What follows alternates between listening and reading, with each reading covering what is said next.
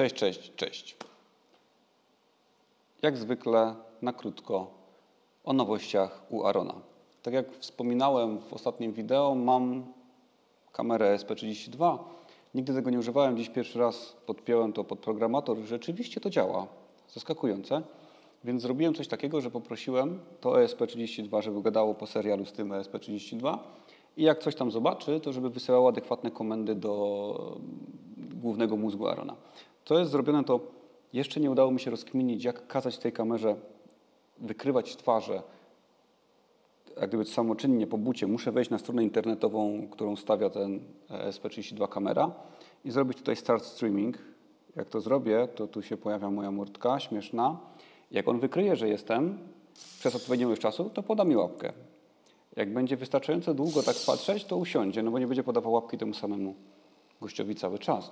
Ale teraz patrzy w niebo, więc mnie nie widzi, więc po chwili dłuższej, jak stwierdzi, że nie ma w okolicy człowieków zasięgu wzroku, to powinien sobie wrócić do pozycji takiego, jak ja to nazywam, jamnika. Więc sobie siedzi teraz, coś tam sobie kmini, czas, e, czy tam właściwie ilość klatek bez twarzy są i teraz znowu jestem ja. Zobaczy mnie, poda łapkę, ale jak się odsunę i zniknę z kadru dla niego, to powinien wrócić od razu do pozycji, do pozycji jamnika, jak ją nazywam.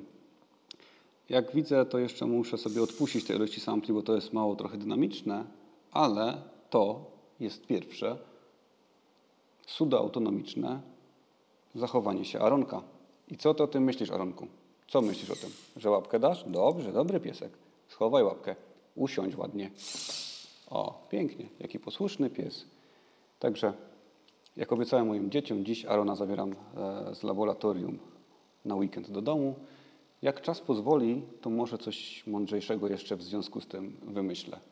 Ciągle mi chodzi po głowie teraz, skoro to już wykrywa twarze, to żeby je rozpoznawał i pracował na tych rozpoznanych twarzach versus nierozpoznanych.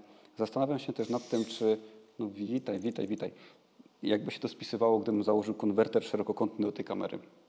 Albo być może są szerokokątne kamery do tego ESP jakieś dostępne. Ale jak na taki mały, śmieszny moduł za żadne pieniądze, to naprawdę naprawdę robi robotę. Oczywiście poza tym, że jak gdyby tutaj się to wszystko dzieje z perspektywy, z perspektywy sterowania kamerą, jak wyłączę stream, to on przestanie to robić i możemy wrócić na tą naszą stronę, którą stworzyliśmy jak gdyby dla głównego naszego Arona tutaj i tu mu kazać robić te różne rzeczy typu siat, jamnik, łapka, cześć gościu, schowaj łapkę. Czy tam wspomniane tańce, które robiliśmy ostatnio. No.